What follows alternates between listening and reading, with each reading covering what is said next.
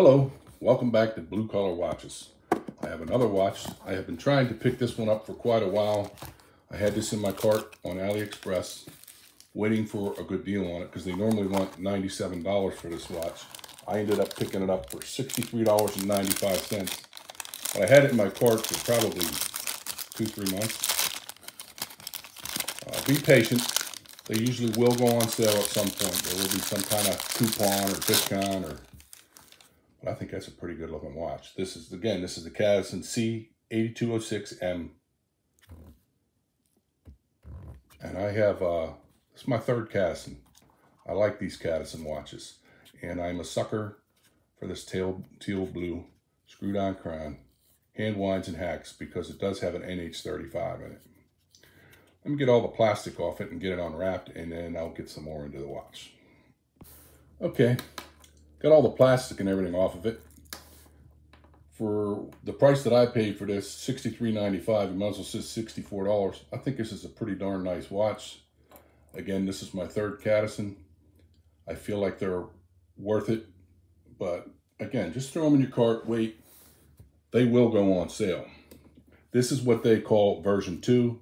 And the only real difference between this and version 1 is it's supposed to have a better band. This one actually does have screws in it, and it did come with a screwdriver to take those out. Let's get into the dimensions of this watch. It's stated at 38 millimeters.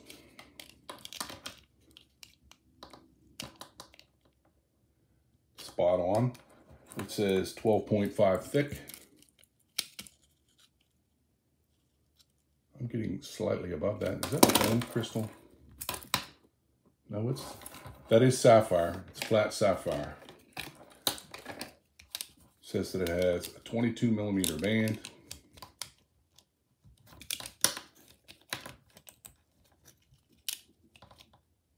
I'm getting 20, so their listing must be wrong. Tapers to 18. And its lug to lug is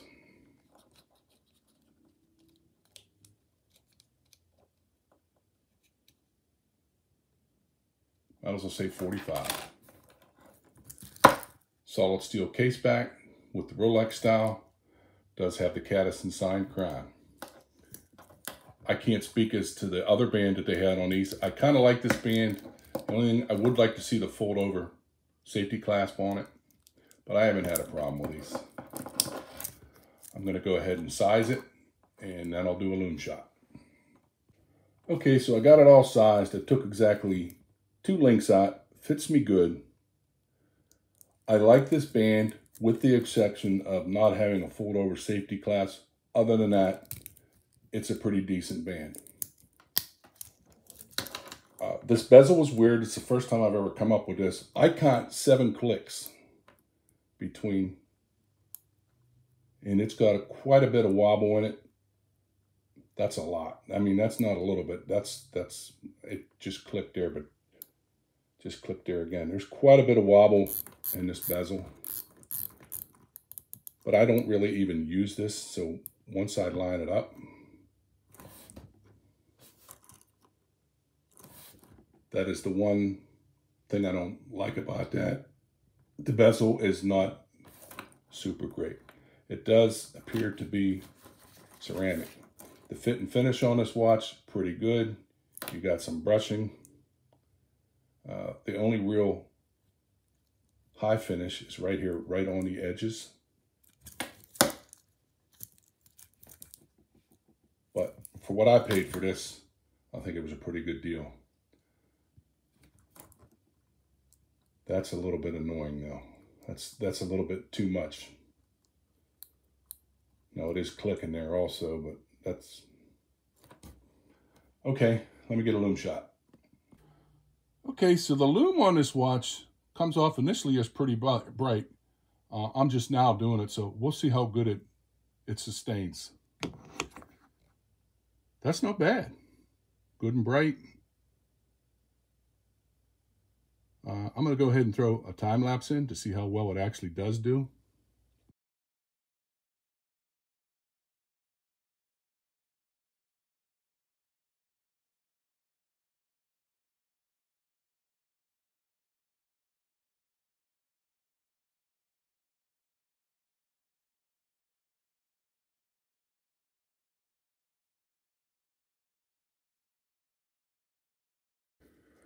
Okay, so the lume on this watch is right about where I expected it to be. When I look at a watch on AliExpress and it just says luminous hands and dial, that's about what I expect. Nothing spectacular has lume. Oh, I didn't mention this earlier. It does say this is 200 meters. Water resistance, 20 bar. Again, it's an AliExpress watch. I would absolutely never trust that. I don't go diving with any of my watches anyway. That's why the be bezel is not a big issue to me. I mean, I would like it to be better than that. And seven clicks in between indices, I've never really, never really had that occur before. But all in all, for $64, well, $63.95, I think I said I paid $64. That's not a bad watch. Uh, still cheaper than an Invicta. And I think that this watch has a lot of positives. The two negatives that I would point out is the wobble in the bezel. And I do like this band with the exception of the fact I always like to see a fold over safety clasp on a watch just so it doesn't accidentally pop open on you and fall off your wrist. Well, other than that, that's a pretty nice watch for the money. If you can get this on sale, I would recommend it. If you, I don't know anybody that actually, I have a buddy that even, uh, he does dive and it's, he says, nobody wears those kind of watches for diving. He says, that's what dive computers are for. So I really don't know anybody that actually uses these. Maybe you want to time something you put in the oven or whatever. But other than that, who you actually uses this? You know, maybe throw that in the comments. Hey, I use it for whatever. But I don't know anybody that actually uses these bezels. But anyway, not a bad watch for the money. And again, I do like this brand. I like Cadisen. I feel like there's a lot of bang for buck. And if you find something on AliExpress that you like, that you want to purchase, and you feel like, I thought $97 was too much for this watch. This has been in my cart for two, three months.